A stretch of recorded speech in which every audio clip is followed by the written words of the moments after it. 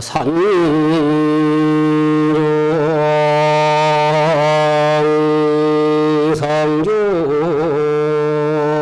성주사에 시방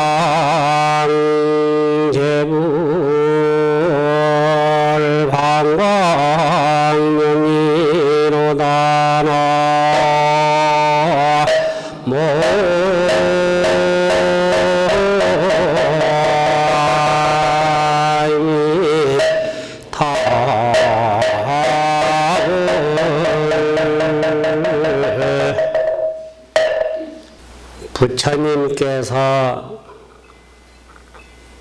이 세상에 부상한 중생을 제도하시기 위해서 탄생하시고 그 다음에 중생들의 고통을 해탈시켜주고 미래 중생들의 살아가는 길을 주시기 위해서 정반왕후 태자로 얼마 아니시면은 왕위를 이어받아서 그야말로 세상에 가장 존귀한 왕이 돼서 영화롭게 살 수 있었습니다마는 그 행복을 마치 헌신처럼 던져버리시고 중생을 위하는 험한 수도 길로 떠나게 되었습니다. 아마 우리가 직접 부처님께 여쭈어보진 않으십니다만은 실달태자로서 출가하실 때 오늘이 바로 부처님께서 출가하신 날인데 그때 그 심정은 참으로 무거웠고 또 책임도 무겁고 앞으로 어떻게 해야 할 것인가 하는 그 생각 요즘 우리로 말하면 저 갈등이라고 하는 그 생각은 우리가 짐작을 할 수가 없을 겁니다. 오늘이 바로 우리 부처님께서 사바세계 중생을 위해서 집을 나온 사가출가 속가집을 버리고 입산 고요한 곳에 가서 수도의 길로 떠나는 것을 출가라고 합니다. 우리나라에서는 출가라고 하는 그 의미가 뭐 여자분들이 시집 가는 것도 출가하지만은 또 자기 집에 있다가 밖으로 나오는 것도 출가지만은 부처님의 출가는 어떤 출가냐? 우리가 부처님의 제자라고 하면 부처님의 출가의 뜻을 한번 되새겨 봐야 되겠다. 그 되새겨 보는 날이 1년 중에 부처님께서 출가하신 날이 2월 초 8일 또 평생을 80년 동안 맨발로 큰 적도 밑에 뜨거운 지금도 아마 우리가 인도 사성기라든지 또 미얀마라든지 타이라든지 스리랑카라든지 남방 쪽에 불교 성지를 순례하러 가면은 얼마나 더우냐. 그 더운 태양 밑에 부처님께서는 그야말로 동분서주 임리입수라고 진흙에도 들어가고 또 불에도 들어가고 태양 밑에도 쪼이고 가진 고통을 하면서 45년간 설법을 했고 설법을 하실 그 힘을 어디서 구했느냐? 그거는 출가했기 때문에 출가한 다음에는 수행을 했기 때문에 수행한 법력으로 우리를 제도해 주시는 일러 주시는 말씀을 45년간 했는 것이 바로 팔만대장경 부처님의 가르침이다. 그래서 평생을 거래 하시다가 2월 15일에 열반을 하셨습니다. 오늘 우리 선주사에서 이 법회를 만 7일 동안에 부처님의 출가로부터 열반회까지 뭐 쉽게 말하면 부처님의 탄생으로부터 열반회까지 되지만은 출가를 해야 수도를 했고 수도를 해야 부처님이 됐다. 그러므로 이 출가라고 하는 의미는 매우 중요하다. 그런 그 뜻을 되새기기 위해서 우리 선유사 주지스님께서 그야말로 이 주변에 사시는 여러 사부대중이 다시 한번 부처님의 길을 되새겨보고 우리도 한번 그 부처님의 걸어가는 길과 똑같이는 하지 못하지만은 한번 생각을 해보고 흉내도 내보고 또 나아가서는 실천도 해야 될 그런 목적을 두고 이 법회를 오늘 시작하게 되었습니다. 그러므로 불모산중 성주사의 아까 그 계속 말씀이 이 산이 불모산 아닙니까? 불모란 말은 부처님의 어머님이란 말이니까. 왜 불모라고 했느냐?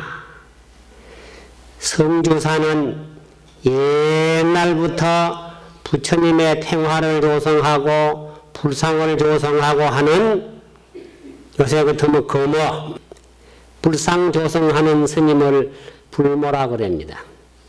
여기에서 불상 조성 하는 것을 가리키고 또 전국에 여기에서 불상을 조성해 가지고 모시고 가고 해인사도 가면은 명부전에 지장보살님하고 시황 그 등상 또 탱화가 다 이 성주도에서 조성해 가지고 모시고 간 일이 있습니다. 그래서 이 산이 불모산 그리고 성주사란 말은 많은 부처님을 비롯해서 불보살님 또 8만 4천 화엄신장님이 이 도량을 옹호하고 있기 때문에 성주사 성인이 머물고 계시는 절이다.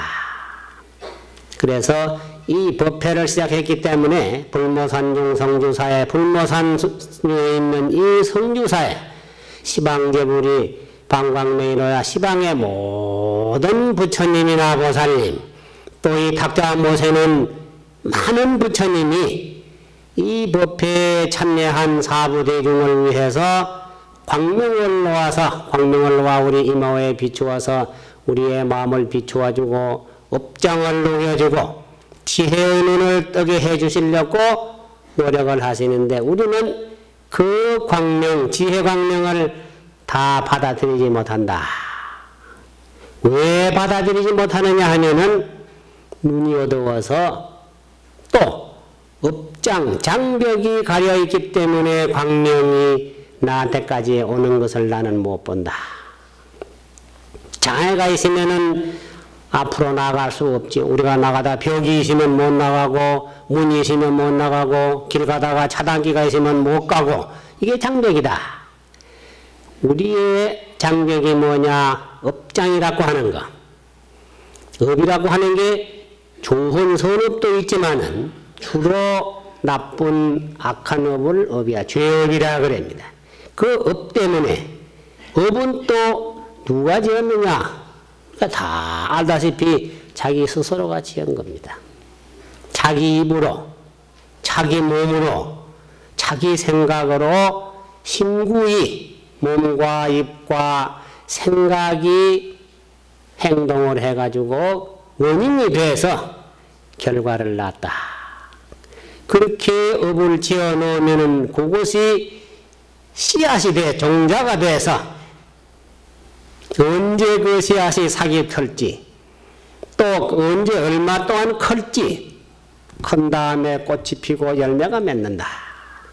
그 열매가 좋은 열매냐? 요새 무슨 과일 가운데 좋은 무슨 뭐 사과라든지 뭐 인도에 가면 망고라든지 이런 좋은 과일이 아니라 쓰디쓴 그런 그 입에 넣으면 그만 쓰고 짜고 매운 그걸 고갈하죠. 괴롭다는 게 뭐냐 바로 쓰다는 말이기 때문에 그런 그 불행한 결과를 초래한다. 부처님께서 인도에 태어나셔 가지고 한평생 동안 살아가신 일대기에 대해서는 지금 뭐 얘기도 할 필요가 다 잘 알고 계십니다. 정반왕의 아들이요 실달 태자요 어머니는 돌아 태어나가 일주일 만에 돌아가시고 이모인 마파사 파사파제 그 어머니 이모가 길렀고 나중에 이제 스물네 살 때 출가를 하고 그 다음에 6년 만에 성도를 하고 뭐 45년 설법을 하고 그리고 2월 15일 날 돌아가신 겁니다. 우리가 생각할 때 부처님은 그야말로 생사를 초월했고 신통자제하고 성인 중의 성인이시고 무상존이라 그래 무상존 위 없는 어른이고 세존이란 말이 이 세상에 천상이나 천하나 우주 공간에 가장 위대하고 가장 수상한 분이다. 그런 분이 왜 우리처럼 태어나고 우리처럼 왜 죽느냐 하는 이런 의심도 있을 겁니다. 그러나 부처님의 오신 것은 원력으로 오신 겁니다. 우리는 왜 와? 어떻게 왔느냐? 부처님은 원력 수생, 원력을 타고 중생을 제도하기 위해서 오셨는데 우리는 수업 수생이에요. 업을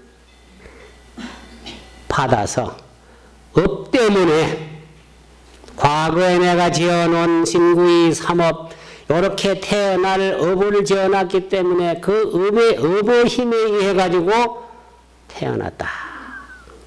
원력 수생은 자유자재하고 올라면 오고 갈라면 가고 마음대로 걸림이 없지만은 수업 수생 업에 따라서 태어나는 우리는 자유가 없습니다. 뭐 나고 싶다고 나는 것도 아니고 죽고 싶다고 죽지를 못합니다. 마음대로 죽을 수가 없어요. 그래서 부처님께서는 그런 거 가시는 것도 중생들에게 무상함을 보여주기 위해서 부처님이 오래 살 거면 영원하지 않는가 하고 그게 의지할까 해서 부처님도 이 육신 30 이상인 화신 화신 서가모니 부처님은 화신불입니다. 삼신불이 예불할지게도 청정법신 비로자나불 원만보신 노사나불 천백억 화신 서가모니불이라는 이 삼신불이 있습니다. 법신과 보신과 화신이라고 하는가. 법신은 주변 해서 없는 곳이 없고 태어남도 없고 죽음도 없는 상주 영원히 상주불멸하는 그래서 자기 앞에 있고 자기 마음속에 있고 눈 뒤에 있고 어디든 없는 거죠. 그런데 우리는 법신은 상대를 못합니다. 할 자격이 없어요.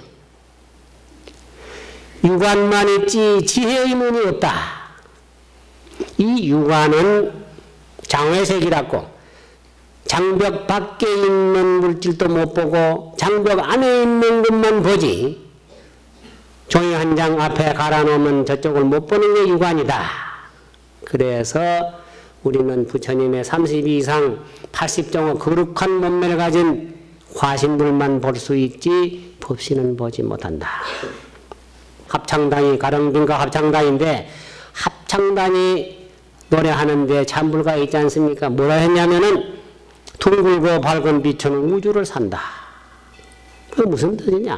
이게 바로 청정보신 비로자나 부처님이란 얘기입니다. 둥글고 밝다. 그 마음의 광명을 덮을 광명은 태양도 안 되고 수천 척이라도 전등도 안 된다. 그래서 둥글고 둥글단 말은 비치지 않는 곳이 없다. 태양은 밤에도 못 비치고 엎어놓은 그릇 속에는 비치지를 못하고 창고 속에도 비치지를 못해. 그런데 이 둥글고 밝은 지혜의 마음의 빛, 즉 신광이라고 하는 거. 그 광명은 어두움도 상관이 없고 밝음도 상관이 없고 어디 비치지 않는 곳이 없다. 그래서 둥글고 밝은 빛. 또 부처님의 덕은 어떤 덕이냐? 고르고 높다 그랬습니다. 고르단 말은 평등하단 말이에요. 고르는 뭐좀 친한 사람, 미운 사람, 친서가 있는 게 아니라 일체 중생을 죄 많은 중생도 부처님은 불쌍히 여겨서 마치 어린애처럼 본다. 어떤 종교에는 그런 노래가 있습니다. 하나님이 나를 실현하는 하기 위해 가지고 고통을 주실 때도 내가 고통을 받고 헤매고 고통을 받고 어려울 때도 내 곁에 계신다 그런 게 있습니다. 근데 그 원망스러운 왜 전지전능하고 위대하신 분이 왜 불쌍한 중생에게 그렇게 모지게 시련을 꼭 줘야 되느냐? 시련을 줬다면 떼줄 수도 있어.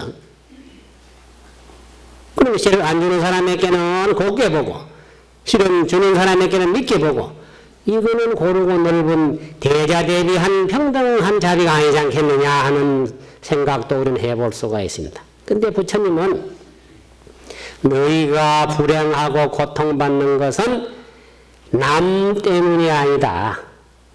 내 스스로의 원인을 만들었다. 그래서 자작자수다. 너 마음이 업을 짓고 너 마음이 고통을 육체가 고통을 받는 게 아닙니다. 아프다고 하는 게 마음이 아프지. 육체가 마음이 없는 육체는 송장이기 때문에 감각을 못합니다. 그래서 부처님은 고르고 넓은 덕이란 말이 무슨 덕이냐? 이게 바로 청정법신이 가지고 계시는 열반덕이다. 우리는 자비도의사도 미치는 게 한계가 있고 힘도 한계가 있지만은 부처님은 한계가 없다. 오늘 출가 제의를 맞이해 가지고 우리도 한번 출가를 한번 해보자. 출가한다고 또 뭐 집에 가셔가지고 막또 뭐 집을 다 던져버리고 애인은 묻고만 다 알 바 없다. 아고 딸이고 뭐뭐다 해보이 별가 들어가 경전 보니까 다 무성하고 다 죽고 마는데 애인만 내가 쓸다 그만 성을 띠내마가 가버리면 큰일이에요. 이죄 짓는 겁니다. 우리는 부처님 법을 믿는데 가정에 충실하고 자기 관리에 충실하기 위해서 부처님 법을 믿어야지. 어떻게 그만 세상이 귀찮으니까 아이고만 좋은 길이 없나.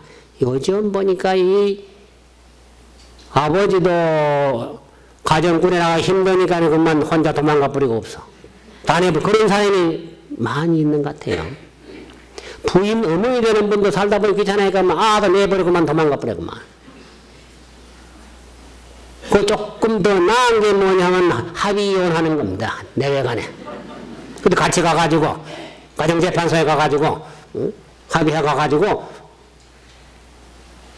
합의했습니다. 이건 좀 낫지 그래도 어 이놈 그것도 안 하고만 한 일곱 달 된 아를 갖다 내버려 도망가시니 그 아 신세가 어떻고 그 아버지 심정이 어떻게 했느냐 그러고 딴 데 가서 좀 잘 살아 본들 무슨 영화를 그렇게 바라고 행복을 뭘 그렇게 구할 게 있느냐 우리가 부처님 법을 바로 한다면은 육체의 향락만을 구하지 말아야 됩니다. 마음의 안정, 마음의 편안함을 우선적으로 봐야지 환경을 그만 선택을 하고 괴로운 걸 피하고 행복한 걸 취하고 하려면은 이거는 배신자요, 의리부동이요, 인간답지 못하다. 우리는 괴로울 원인을 만들어 놨습니다. 그 원인을 책임을 져야 돼. 도망가가 혼자 살아도 언젠가는 자기가 해놓은 것은 받아야 되기 때문에 피해가지 맙시다. 그러나. 이 세상이 사바세계라 그랬습니다. 우리가 사는 사바세계라 그래요. 사바란 말이 우리말로만 하면은 괴롭기 때문에 견디어서만 살 수 있다. 가민세계라 견딜 감 자 참으린 자 우리가 사는 불교 용어로 이 세상을 본질이 이 세상 본질이 뭐냐? 고통이다. 고다. 고로 구성되어 있고 그 고기 때문에 고를 참아야 살아간다.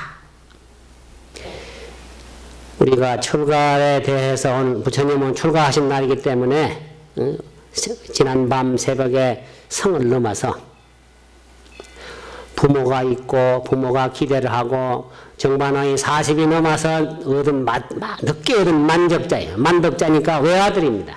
그거를 키워가지고 왕이 개성해가지고 자기는 마음 놓고 죽으려고 그래 했는데 그만 도망가 버렸으니까. 그러기 전에 동제, 동문, 서문, 사대문을 다 봄날에 구경하고 그만 세상 인간을 그것을 이제 살펴본 거예요. 제가 성을 넘어가 도망가 설산으로 갔으니까 그렇게 가는 우리는 출가도 그게 사칭 출가고 그건 유성 출가죠 그 성으로 말하는 우리는 사가 출가입니다.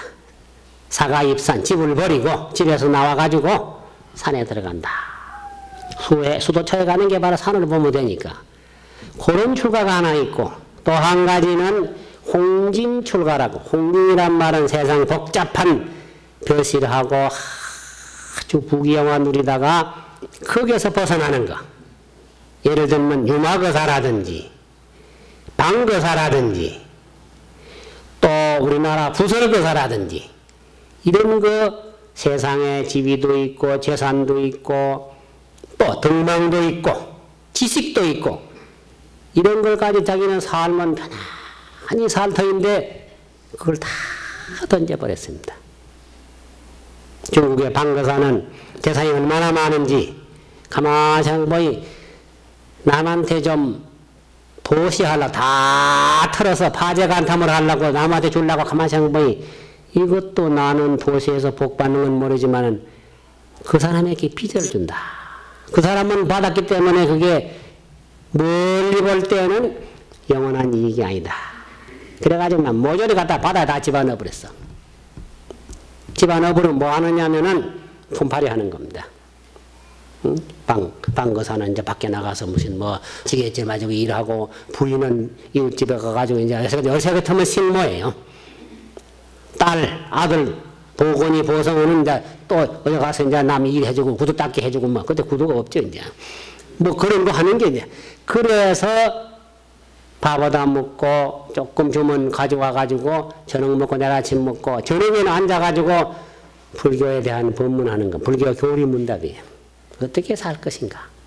이 사는 존재가 뭔가? 왜 살아가야 하는가? 이거를 요새 같으면 그게 이제 대담이요, 뭐 요새 뭐 요새로 말하면 뭐 세미나를 할 수 있지 그죠? 가족 세미나에 그건 이제 그렇게 해서 살아나가는 것을 바른 정의를 찾고 어떻게 살 것인가 하는 걸 하고 업을 적게 질라 그래고 그래서 대가달란도의 공설무생화라 온 가족이 달란이란 말은 화로불 놓고 뺑 돌라 앉아가 이익하는 게 달란입니다. 그다 요새 달란 주정하는 게 그 달란이에요. 술집에 가고 앉아가지고 소주 한잔 놓고 여기 앉아 이익하라는데 이놈 자 그거 가서 그만 도둑질하고 사람 찔러 죽이고 말이에요. 이게 잘못된 거예요. 이게. 단란한 가정이란 말이 그게 뭐냐면 아주 화목한 가정이란 말이에요. 우리는 그런 걸 구성해야 됩니다. 돈이 좋습니다. 돈은 많이 벌어야죠. 그러나 물질의 일변도로만 흘러가서는 안 된다. 물질을 왜 흘러가느냐? 편하기 위해서. 몸띠가 변하려고 하는 겁니다. 몸띠가 변하면 방탕해지고 방종해져. 그 대신에 정신세계는 황무지가 된다. 그러면 그건 불쌍한 존재라는 겁니다. 부처님은 복해 양족을 하라게 복도 닦고 지혜도 닦아라. 복 닦는단 말은 돈벌이 하라 그런 얘기입니다. 나는 무소유라는 걸 그렇게 권장 안 하고 무소유 무소유도 입만 무소해서 안 됩니다. 인도에 가면은 무소유가 필요해요. 글식하면은 필요 없죠. 집도 필요 없어. 내가 한, 한 3일 전에 버마를 좀 갔다 왔는데, 버마를 내가 한 번도 안 가봐서 누가 자꾸 가자 한 30년 만에 한 번 갔어요, 이제. 처음, 좋은 사람 처음으로 갔어. 비행기를 처음 타봤단 말이야. 오늘 타보고. 오늘은 탔는데도 공항에 나오니까 그만 그게 안개가 띄어가지고만. 요 근래 최악이다요. 그게 뭐 어떻게. 9시까지 있다가 9시까지 못 간다 그러면 그만 전화하고 안 올라고 그랬다. 9시에 때, 아, 8시 50분 비행기가 또 됐네, 그건, 그건 또. 그것도 거기 들어갔다. 체킹이가 또 들어갔지만은 그 비행기가 또 3, 40분 늦어진다는 게야. 안 올라가다가, 이왕, 이왕 나섰으니까네, 기다리는 분이 계시니까, 와서 뭐 법문이라는 게 할, 할 말이 없어요, 그냥. 법회라는 게 서로 만나고, 서로 탁마하고, 서로 참 이렇게 해서 뭐 그게 무슨 부처님도 45년간 법문하고는 뭘 하냐 합니까? 나는 45년 동안에 한마디도 살한 게 없다. 성도 한 날로부터 12월 8일로부터 2월 15일까지 열반한 날까지 능각에 있는 얘기입니다. 한마디도 살한 게 없다. 그러므로 불설이 불설이다. 말하지 않은 것이 부처님의 설법이다. 이게 불임 문자가 된 거예요. 능각이 선정의 소위 경쟁이니까. 또 하기야 뭐 조금 덜 아주 모르면 또 안 되죠. 누가 어디 가다가 당신 불, 불자라니까 서가모니 부처님이 어디서 태어났어? 글쎄 소에서 태어났는지 이러면 안 된단 말이에요. 그러면 책맥 썼잖아 그게. 부처님 어떻게 나 몰라가지고 소련인지 일본인지 세상 안 되잖아요. 그래도 인도에 지금은 네팔이다. 이렇게 뭐 해야지 그럼 되겠어요. 그래서 알기 조금 알아야 돼요. 경전 조금 번역해놓은 거좀 보고 법문도 좀 들어야지. 그런데 가장 중요한 것은 뭐냐? 기도를 해야 됩니다. 염불 해야 되고 참선해야 되고 그게 실천 수행이다. 그래서 부처님도 복을 짓고 지혜를 닦아라 그랬습니다. 물질로 나아가는 그런 물질 추구만 하지 말아라. 복 짓는 것은 일하고 돈 버는 거예요. 재산 모는 겁니다. 그러면서 지혜를 닦아라. 50% 50%를 해야 됩니다. 돈 버는 시간에 50%. 마음을 단속하는 시간을 50%는 가져야 됩니다. 그래서 버마에 갔는데 그쪽 남 인도도 마찬가지예요. 거기는 절이 따로 필요가 없어. 지금도 버마는 태국은 안 그런데 버마는 50명이고 100명이고 그 사는 단체가 똑같이 가요. 글씨 가라. 그 안해이라고 막 중간 말안 가요. 안해이란 말이 기러기가 가을에 여기서 저 추운 북쪽으로 갈 적에 날아갈 적에 보면 참 마치 그 비행기 편대처럼 이렇게 가지 그냥 막 가지 않습니다. 그냥. 그러니까 스님들이 줄을 지어가지고 글씨 가라 가는데 태국 같은 데는 그렇지 않아. 그냥 뭐 좀 막 하고 또 뭐 밥을 해가 차 실어 가지고 이제 갖다 주면 어떤 장소에서 받아가서 일하는데 거기는 더우니까 절이 필요 없어요. 아무데나 가서 아침 글씨 가지고 고향하고 나무 밑에 앉아가 다 앉아가지고 참선하고 연불하고 그건 비팔사나 우리하고 조금 달라요. 그쪽 수행이 비팔사나라고 이 참선하고 같은 선이지만은 달마스님 선하고는 그런 수행을 하고 있단 말이에요. 그리고 또 뭐 더우니까 방이 필요 없잖아요.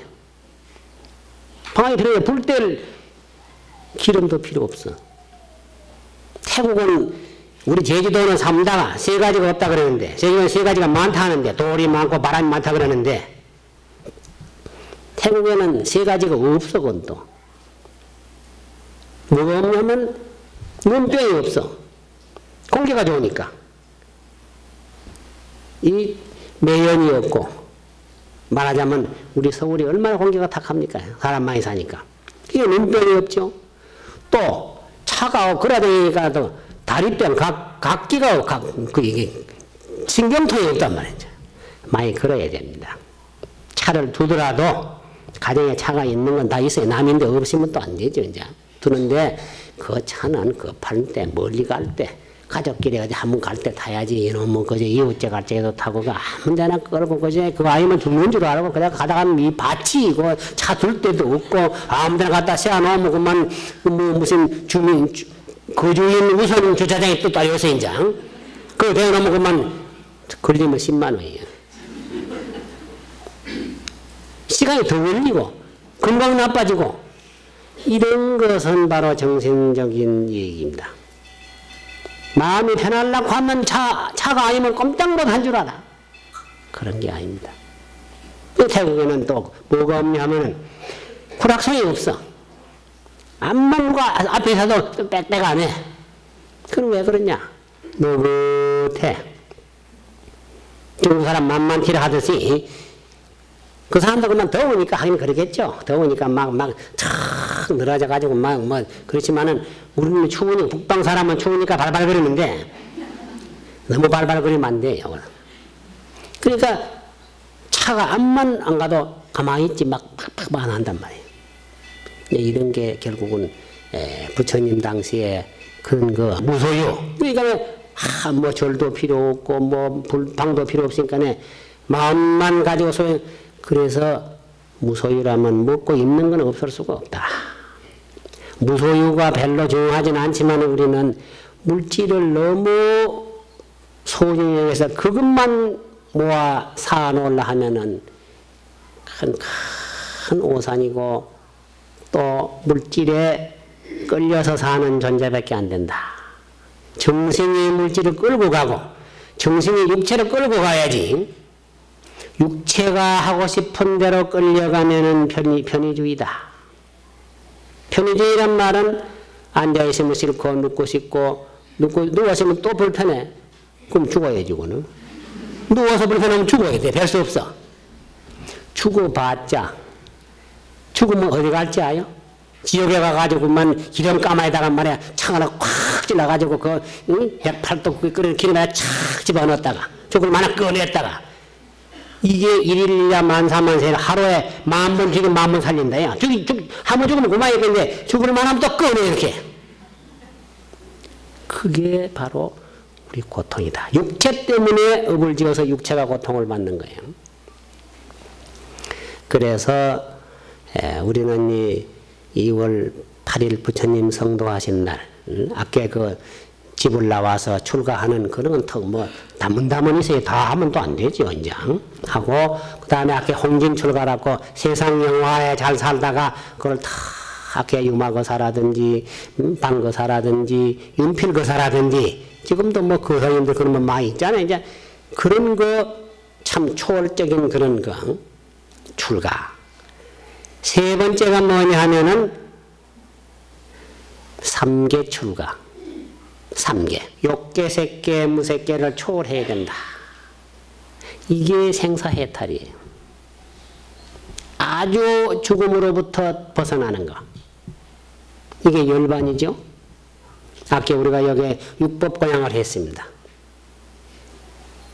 육법고양은 아까 올렸는데 육법이 잘하잖아요. 과일, 꽃, 향, 닭이 이란 말은 맞이 그 다음에 향 이런 게 있어서 뭐 조금 조금 다르긴 한데 그것은 물질적인 육법이고 진실된 육법이 육법고양이 뭐냐 과일 중에는 해탈과가 제일입니다. 해탈이라고 하는 것은 열반을 얻어지면 결과에 갔기 때문에 이거를 불과라 하기도 하고 아라한 과라 하기도 하고 과란 말이 열매가 다 맺었단 말이니까 부처님이 출가를 했으면 무슨 결과를 얻느냐? 부처님의 결과를 얻는 겁니다. 그 결과가 뭐냐? 그게 바로 열반이에요. 수행하는 육바라밀 하는 것은 인이고 꽃이고 꽃이 핀 다음에 열매가 맺는 거. 과일 중에는 열반과가 제일이고 우리가 깨끗한 청정수라고 청정수나 아니면 뭐 작설차나 달아 올리는 것도 다 좋습니다. 근데 그보다 더 차원이 높은 우리는 보통 꽃 올리고 향 올리고 과일 올리고 마지 올리고 향 올리고 이런 등등밖에 할 수가 없습니다. 그보다가 차원이 높아지면은 사면에서 한 십지 쭉 올라가는 보살들은 과일은 보통 과일이 아니라 해탈과를 부처님께 올리고 꽃은 뭐냐 만행화라는 겁니다. 육도 육바라밀을 하는 게 바로 꽃이다. 육바라밀 행하면 아름다워요. 그래서 에, 꽃은 만행화 육바라밀을 행하는 게 가장 아름다운 꽃이다. 또 우리가 합장하는 것도 꽃이에요. 우리가 합장을 다 할 때는 흩어진 마음을 한테 먹고 어떤 대상에 대해서 공경하는 마음을 내는 겁니다. 부처님께 합장하고 절하는 게 바로 꽃 올리고 절하는 게요. 합장은 뭐냐? 마음을 한테, 산란한 마음 한테 먼 것이기 때문에. 그리고 그 다음에 닭이, 단은 뭐냐? 감노다입니다. 감노다. 감노수가 없기 때문에 관세음보살이나 부처님이나 가지고 계시는 감노수가 없기 때문에 우리는 수행해가 도가 높아지만 감노수가 있지만은 관세음보살의 감노수에 물 주는 게 있잖아요. 남순 농자 그거 받아먹으려고 막 쳐다보고 그한 빨만 얻어먹으면 만병통치. 그게 없단 말이에요. 그래서 차는 감로다가 제일이다. 또 향은 뭐냐? 해탈향이라는 게. 해탈. 해탈하면 향기예요. 요즘 우리가 운동하는 게 뭐냐면 맑고 향기로운 그 운동이 있어요. 맑고 향기로워야 됩니다. 그건 뭐냐? 마음이 맑아야 되고, 마음이 향기로워야 된다. 마음은 그만 담진지가 꼭 차 있는데 그만 향수만 들이 뿌려가지고, 향수는 뭐, 물론 향수 좋다는데 안 발라봤는데, 그런 것만 암만 온몸에 발라봤자, 코만 찌르고 더, 거시리고 더 나빠요. 너무 뿌려놓으면은. 그래서 사람이, 그 사람이 하는 일이 아름다우면 향기를 풍기는 겁니다. 우리 예불 할적 있잖아요. 개향하는 게 뭐냐? 개를 잘 가지면 향기로운 겁니다. 거짓말 안 하고, 응? 남안 속이고, 배신 안 하고, 지나친 욕심 안 내고, 이렇게 하면 이게 바로 개 가지는 거죠. 그런 사람 우리 안 치다 볼 수가 없어. 개가 가지면 개의 향기, 정향이란 말은 마음을 다 가라앉혀가지고 연부를 하고 참선하고 뭐 기도하고 하면 그게 정향이 마음을 안녕했기 때문에 아름다워. 그 다음에 해향의 지혜거든. 지혜가 생면 그 다음에 해탈지견. 지혜가 생겨가지고 그 아주 광명이 비치고 그 다음에 마지막으로 정향, 해양, 해탈향이에요. 해탈을 하면은 그게 바로 해탈한 이가 얼마나 향기롭게 해탈을 우리가 못해서 그렇지. 그래서 향기 중에는 해탈향이 제일이다. 우리는 그런 그 어떤 응? 차원이 높은 차원에 있는 것을 구하기 위해서 쳐다보고 나아가야 됩니다. 아직은 안 되지만은 그 안 될 때에는 우리가 뭐 하느냐? 그게 되기 위해서 부처님께 꽃 올리고 향기 올리고 음성 고양을 하고 합니까? 절해야 되고 절은 또 뭐냐면은 암만을 없애는 게 가장 절이 훌륭한 절입니다. 절이라고 하는 것은 남에게 절할 때는 자기를 낮출 줄 알아야 돼. 가심하고 공경하는 마음을 가진다면은 절 안 해도 그 사람은 절을 늘 하는 사람이다. 우리가 하루 108배 한다 하더라도 그만 하는 태도가 목에 뻣뻣해가지고 목에 힘주고 말이 또 그만 또뭐 말씨가 또 뻣뻣해 반말하고 그래 보시오 그게 누가 바로 보나요? 그건 좋지 못하다. 그래서 오늘 이 출가하기 때문에 출가에 대한 걸로 몇 마디 더 와서 결론을 짓는데 출가는 뭐냐? 우리가 불교에 입문해서 부처님 불교를 믿는 목적이 뭐냐 하는 거. 부처님께서 출가하신 목적은 뭐고 여기 계시는 사부대중을 비롯해서 모든 불자, 불자는 뭐 제가 출가 다 하니까 불자들의 목적이 뭐냐?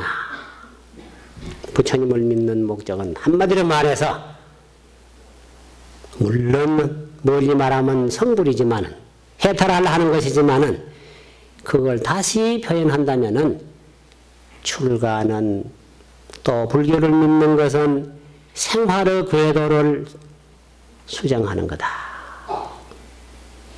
생활의 궤도, 우리가 살아가는 길이 있습니다. 생활 궤도가 뭐냐? 하루 우리가 두고 보면 아침에 일나 기침해가지고 뭐 세수하고 뭐 밥 해 먹고 아침 먹고 또 나가 직장에 가 일하고 종일 일하고 그 다음에 집에 돌아가고 가다가 또 친구도 만나고 저 집에 자고 이게 생활입니다. 늘 반복하죠. 이거를 떠나서는 불교가 있을 수 없다. 그래서 부처님 말씀에 불법적 세법이라 그랬습니다. 부처님들이 바로 일상생활이지 그 밖에 있는 게 아니다.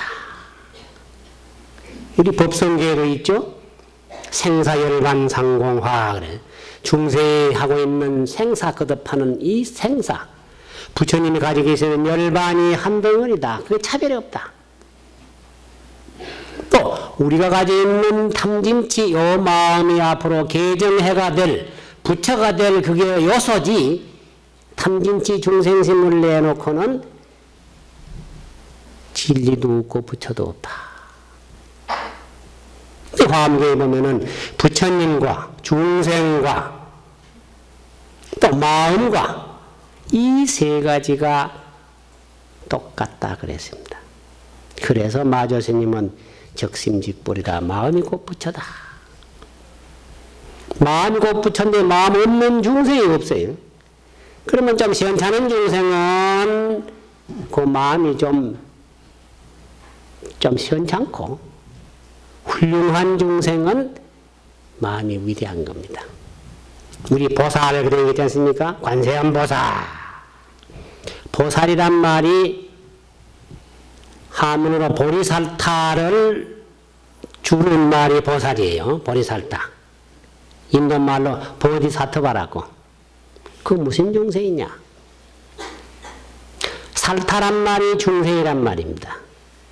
보리란 말이 깨달았단 말이 요새 우리 보리 보리 안욕따라 삼명선 보리란 말이 깨달았다는 뜻이에요.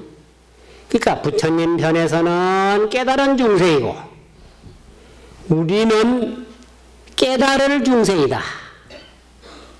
부처님 법을 믿는 불자는 앞으로 깨달을 미래의 부처고 부처님은 이미 깨달으신 분이기 때문에 깨달은 중생이고 중생이에요 그분도 우리는 부처인데 지금 현재 중생이다 또 달리 보면 깨달은 부처님과 미한 중생 이게 보리살타 보리살타바입니다 그래서 부처님도 우리와 똑같다 같기 때문에 선종에서 마조 스님이 어떤 게 불법의 핵심적 진리입니까? 하고 물으니까 적심시불이니라. 마음이 곧, 너 마음이 곧 부처다.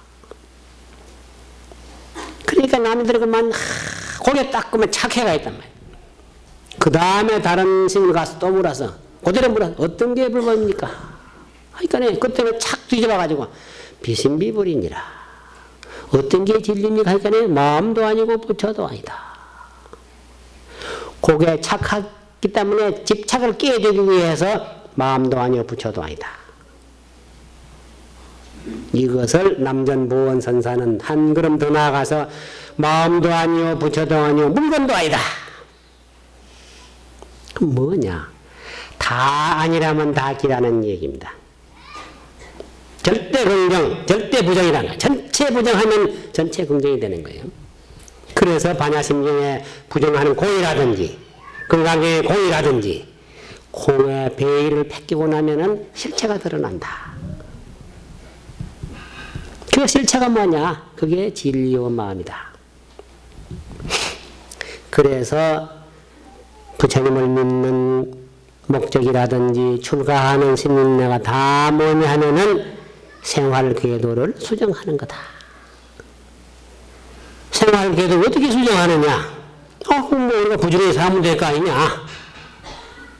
그런데 그게 마음대로 안 된다. 예, 살펴보아 가지고 잘못된 부분이 있으면은 그걸 고치는 게 그게 바로 부처님의 법을 신행하는 신행 생활이고 수도다. 그래서 우리가 사는 중생은 그냥 그대로 따라가는 물이 흘러가듯이 흘러가는 거. 이 세상은 흘러가는 물이 진리로 봅니다. 술이니까 흘러가는 물이 술 부처님 법에서는 진리가 아니라 거꾸로 올라가야 본법을 찾는다. 역류를 해야 돼. 중생은 술류고 부처님 우리가 지금 발심을 해가지고 쭉 55위로 올라가는 겁니다. 우리가 발심하면 처음 범부, 십신, 십주, 십행, 십회양 뭐 등각, 묘각으로 해가지고 55단계 마지막 단계가 성불이다.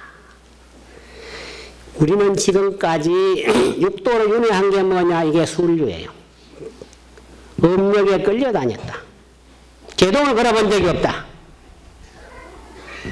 어떤 책임자가 회사 책임자나 뭐 가정의 책임자나 나라의 대통령이나 봐서 잘못된 것을 브레이크를 걸어야 됩니다.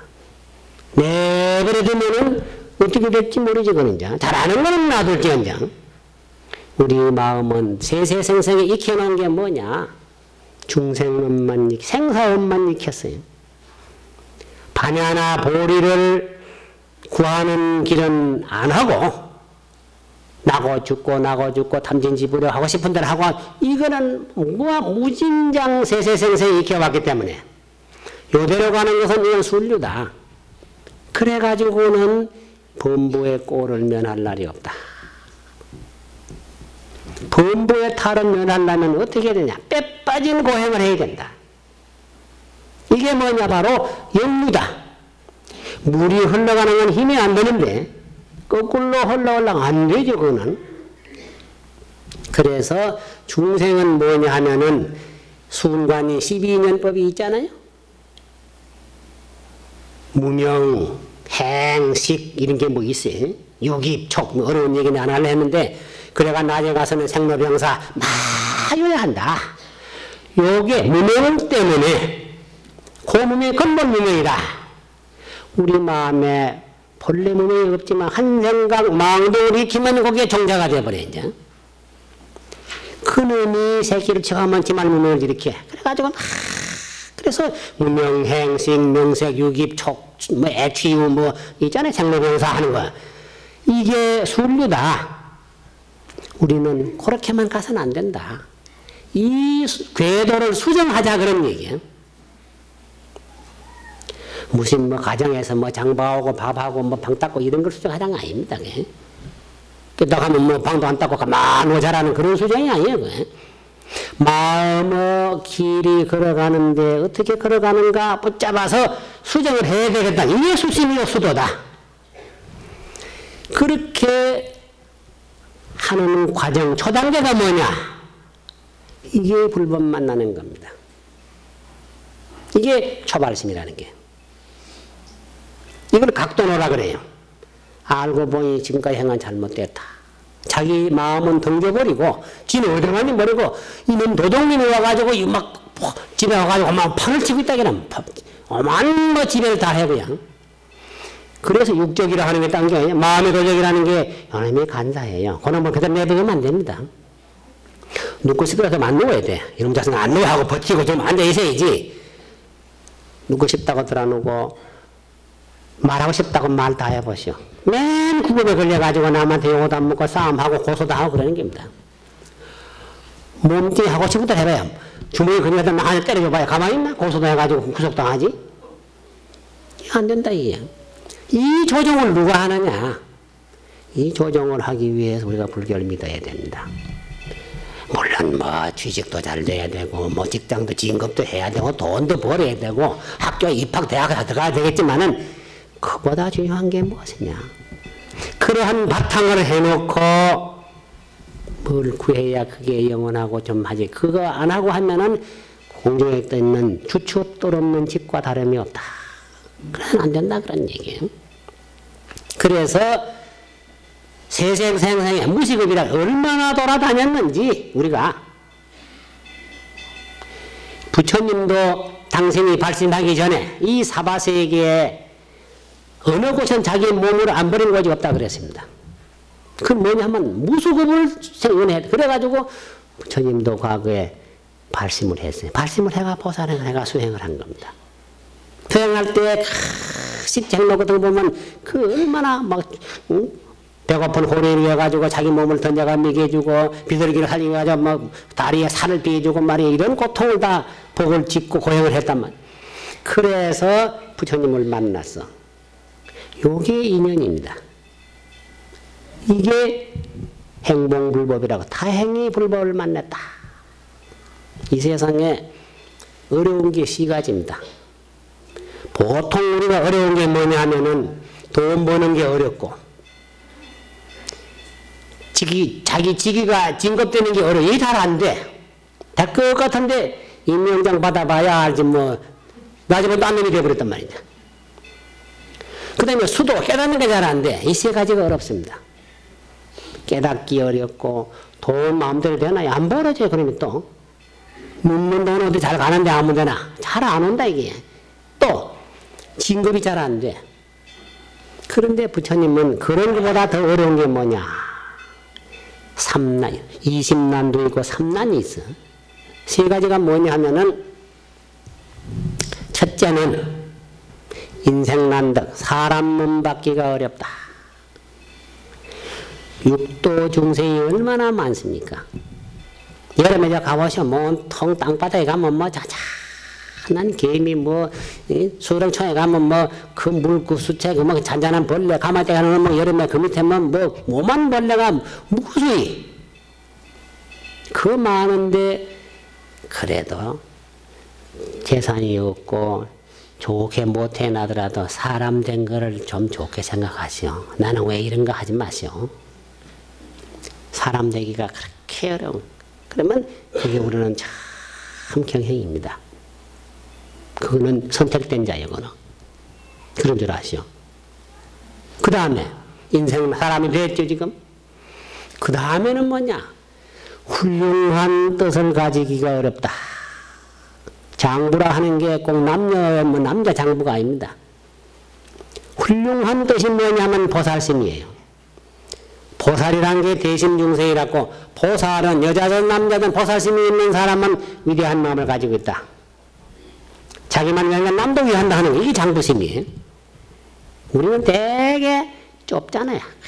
자기 것만 범위를 못 벗어나는데 부처님이나 보살들은 선타국이라고 다른 사람을 먼저 한몫을 놓고 자기 뒤 범부나 소성들은 자기를 앞에 먼저 생각을 하고 그 다음에 여유가 있으면 남에게 조금 생각하는 게 보통 사람입니다.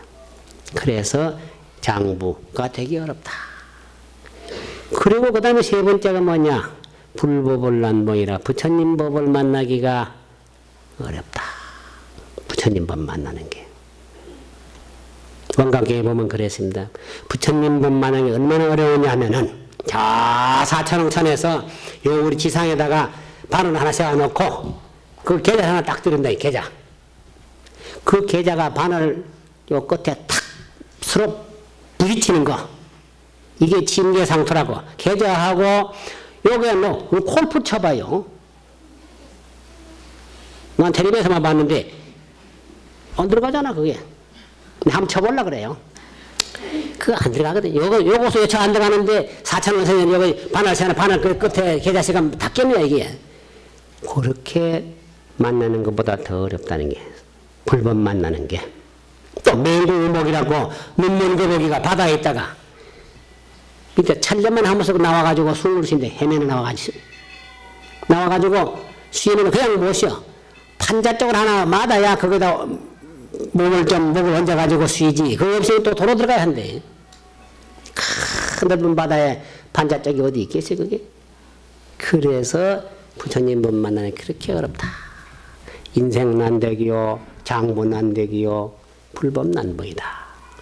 그럼 우리는 다 했어, 지금. 근데 뭘 원망을 하고 나는 왜 돈이 없는가 말이 내보다 나은, 물질적으로 나은 사람하고 비교를 하지 마세요. 없는 게 좀뭐 좋을 건 없지만은 마음으로 부자가 좀 돼야죠. 나도 이만하면 됐다. 또 더 잘 벌어야지. 뭐가 또 많아지면 더 좋고 또 없이 없는 대로 살아야지 뭐 세상 살이 살림살이 살게 매인 겁니다. 돈을 벌기보다는 부자 되는 방법은 절약하는 게 가장 중요한 겁니다. 있으면 뭐 하시질 않아요. 그래서 인색은 아니지만은 절약은 해야 된다. 필요 없는 낭비를 해서는 안 된다. 그런 정신으로 살아간다면 그게 건전한 정신이고 그런 정신에는 물질도 모아지기도 하고 물질이 우선될 수는 없다. 그래야 마음이 편타는 거. 그래서 우리는 이 세 가지를 다 만났습니다. 부처님을 만났다. 부처님을 만나다 부처님은 밥 먹여 주는 것도 아니고 어디 해주는 것도 아닙니다.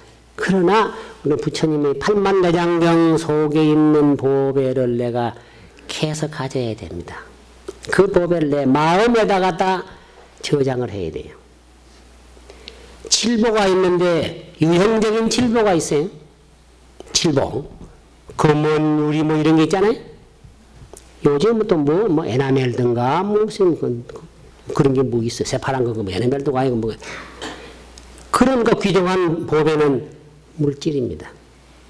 근데 부처님의 성보라고 성보가 있어요. 그건 뭐냐 하면은 믿음. 신심이라는 게확 확고한 신념이 있는 사람은 가장 힘이 있는 사람입니다. 가장 우리는 신념만 있으면은 세상이 문제가 아니다. 또 부처님을 믿는 마음, 내 마음을 믿는 신, 그 신심이 근본이에요. 그래서 확고한 그 신심, 그 다음에 계, 계를 지켜야 됩니다.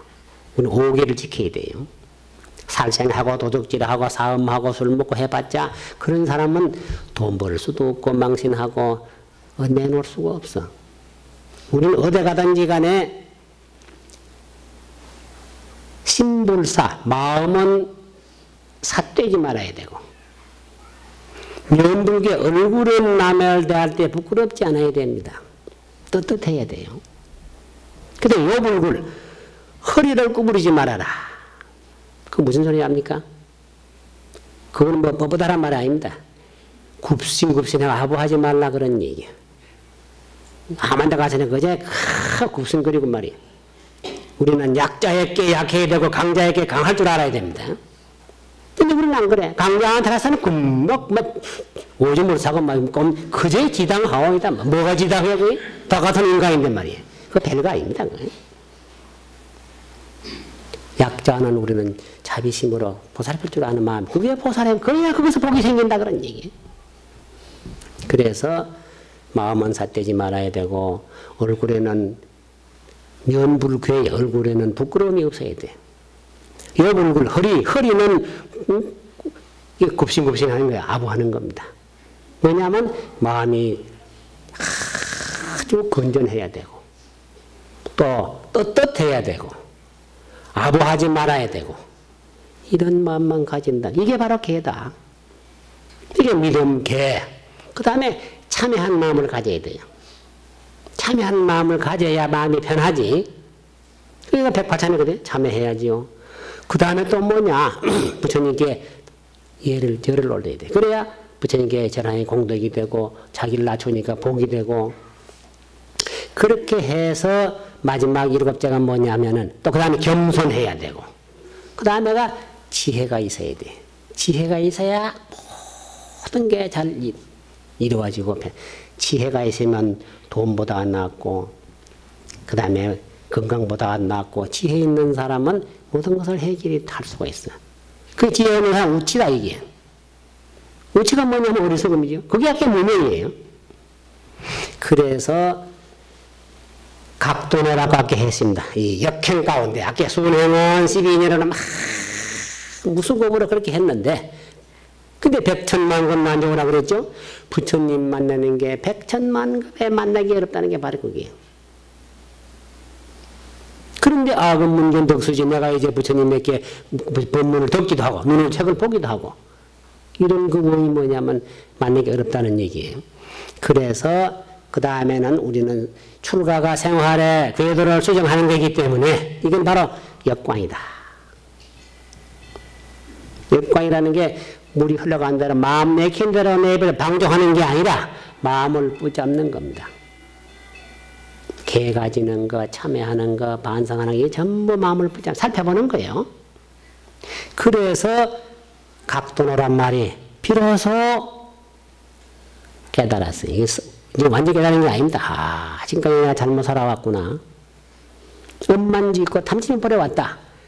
이렇게 깨닫는 겁니다. 깨닫고 보니까 그 다음에는 발심을 해야 돼. 이게 포고 발심이라고 합니다. 요새 만욕 따라 삼맥삼 보시마 그게 바로 발심이다. 바른 마음을 일으킨 자. 요게 아까 역관 가운데 각도노해가 발심하는 게 발심하고 보니까 잘못한 게 보여. 우리는 한 40, 50 지나가 60이 좀 돼가야 뭐가 보이지. 젊은 사람은 폐기 때문에 아무것도 안 보여. 전부 지가 옳고 막 부딪히고 나이가 많으면 허물이 보여요. 앞에 안 보면 뒤에 보면 뒤가 보여. 지나온 걸 보면은 그것도 나이가 한 5, 60 돼야 보이지 젊은 사람은 안 보입니다. 그래서 공자도 그랬거든. 제가 공자가 73세 죽었는데 70이 뭐냐 하면 종심소역하여도 불르거라 70이 되고 보니까 마음 하고 싶은 대로 다 하나도 더 조금도 진리하고 남이 없더라. 그게 뭐냐 하면은 철났다는 얘기입니다. 60에 철난 게 아니라 70에 철난 거예요. 우리는 70에는 철못 납니다. 정신 차려야 돼요. 그래서 각도를 해가지고 역관의 첫째요. 그 다음에 보고 발심. 고통이 두려워서 발심을 아 이러다 보니 내가 세상에 꼭그 지옥 가고 하고 또 그렇게 돼. 자꾸 내버려 겁나잖아요. 우리는 모를 때 겁안 나지 알면 겁이 나요. 법을 알면 겁이 납니다. 법을 몰라야 미련 하나님 고래 잡는다고 막 설치지 법을 많이 한 사람은 꼼짝도 못해. 다 걸리니까. 그래서 보고 발심을 해요. 그 다음 뭐 하느냐? 수육도. 육도를 닦는다. 발심해가, 아, 내 공덕을 지어가 이제는 마음을 찾아야 되고, 이제 좋은 일을 해야 돼. 부처님 법 만나가 이제 뭐 알아지니까. 그래서 육바라밀을 행한다. 해가지고 낮에 가서는 아가 공해지는 게. 아공한단 말은 자기 주관이 공한단 말이고. 법공이란 말은 그 다음에 이제 객관이 다 공해지고. 다 공해지면 뭐냐? 이심이라고 마음을 여해. 분별망상을 다 떠난다. 망상심을 떠나는 게 뭐냐? 이게 니르바나예요. 열반이란 말이 다 녹아졌다. 다 타보고 없단 말이니까. 우리 마음속에 는 번외망상하고 분별 탐진치 이런 마음이 다 녹아졌단 말이지. 진심이 없었다. 진심이 없으면 안 되지 그는. 요새 무념이다 무심이란 말이 나쁜 마음이 없었단 말이지. 진심은 없었단 말이 아닙니다. 그래서 낮에 성불한다. 이래서 부처님의 출가는 이 역관을 하기 위해서 그 태자의 자리를 버리고 6년 고행 얼마나 고행을 했습니까? 고행상 봤죠? 바짝 말라 뼈다만 있잖아요. 그리고 이제 그 다음에 마지막으로 이제 또 수행하면 뭐가 자꾸 방해를 해. 사람이 위대한 사람일수록 그러고 된 사람이 많아. 지치기 한 사람이 많고. 도고마성이라고 도가 높을수록 마가 강해지고 사람이 재주가 강하면 또 질투한 사람이 많대요. 나이 버리니까. 끌어들이면 이게 중생세계예요. 그래서 부처님 12월 8일 7일 저녁에 말이에요. 8만 4천 마군이 파순이를 물리치고 성도를 했단 말이에요. 그래서 부처님이 오늘 출가를 해서 탐에 고행을 해가지고 성도를 하고 45년 동안에 8만 장경을 남겨놨다. 8만 대장경이 있기 때문에 부처님이 항상 계시는 겁니다. 그래서 경전이 뭐냐? 그게 바로 상주법신이라는 게. 경전이 있는 곳에는 부처님이 늘 계신다. 또 경전이 있는 곳에는 8만 4천 옹호 신장이 그 도량과 그 경전과 그 경을 믿는 사부대중을 옹호하고 있다. 그래서 우리는 오늘 2월 8일 부처님 출가하신 날 맞이해서 우리가 살아가는 데 있어서 수정을 자꾸 하면 살아가자. 요새 말로 체크를 자꾸 해야 된다. 내버려 하고 싶은 대로 놔두지 말아라. 합창단 나갈 겁니다만 합창 노래 그래서 예인년을 버리고 세인년을 맺도록 하는 게뭐 있는 것 같아. 그럼 그게? 예, 이거는 봐 예전에 하던 걸 다 버려라 이랬단 말이에요. 그거 잘못하면 큰일이에요. 예전에 하던 아버지 생기던 거 다 버리고 말이야. 응? 모르는 공연 다 버리고 집안 사람이 그런 거 아닙니다. 예민이라는 게 뭐냐면 과거에 하던 악계 순한, 순관, 무명행식으로 쫙 탐진치를 버려가지고 생사업만 지어오던 그걸 다 버리고 새 인연, 새로운 인연을 요게 이제 역관입니다. 역관.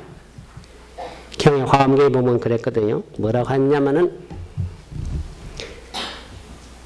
숙자는 방조생하고 이걸 숙자예요. 이걸 숙자. 뭐 밥이 익었다, 뭐 익었다, 뭐 이걸 하면 이걸 숙자가 있어요. 익숙하다는 숙자예요.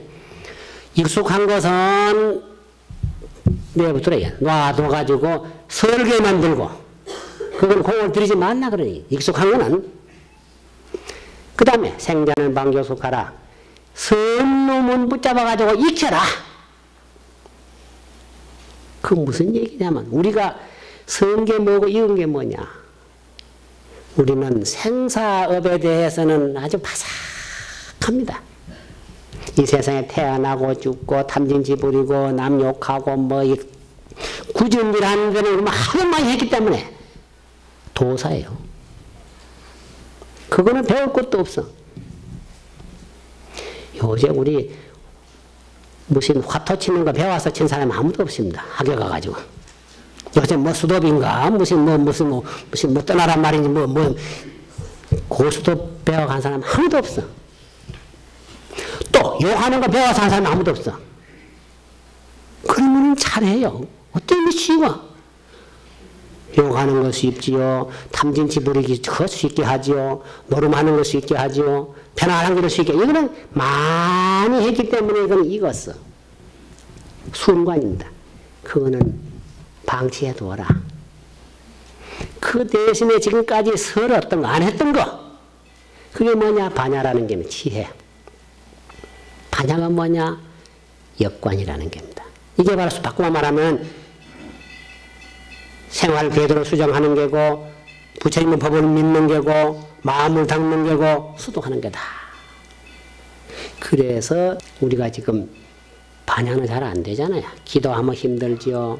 참선하고 앉아있으면 막 머리가 상기가 오르지 허리가 아프지 망상에 떠오르지 그냥 있으면 괜찮은데 안 돼. 뒷불만 치면 뭐가 떠올라가지고 말이야. 아, 친구 만나고 싶고 말이야. 뭐 어느 무슨 만날까 어디 뭐지 전화가 안 오나 또뭐 옆에다가 무슨 요새 뭐 핸드폰 갖다 놔 그게 무슨 참선이에요 그게 말이야.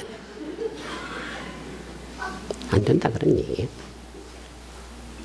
그래서 좀 마음을 붙잡아가지고 마음을 호되게 다스려야 됩니다. 그것만이 우리는 훌륭한 부처님을 붙잡을 자예요. 그래야 거기서 업이 녹아지고 복이 길어지고 기도가 성취되고 소망이 이루어지는 겁니다. 그걸 첫째로 하고 그 다음에 백팔배하고 관세음보살 정건하고 막 뭐 불사도 하고 뭐다 하고 이래야 이게 바탕이 기대로 돼가지고 그 기도가 잘 성취가 된다. 이런 거기 때문에 오늘 여기 모인 여러 불자님들도 생활 궤도를 살아가는데 일상생활은 똑같이 하지만은 마음의 생활을 늘 살펴보아서 잘 보이지 않아요. 자기 일은 잘 안 보여. 그러나 살펴보려고 하면 보이는 게 있기 때문에 그래서 늘 돌이켜보고 참여하고 또 반성을 하고 타짐을 하고 이게 조심이라는 겁니다. 조심. 그 반대가 방심이에요. 그렇게 해서 의분을 적게 짓고 공덕을 닦으면서 거기에 부처님의 큰 가호, 부처님의 자비광명을 받는다면 안 될 게 없단 말이에요. 그렇게 하기로 하고 오늘부터 15일까지 아무 장애 없이 원만하게 회양 때까지는 입자만 딱 해놓고 말이요. 회양 때 한번 와가지고 뭐, 뭐 회양 이러면 안 된단 말이야.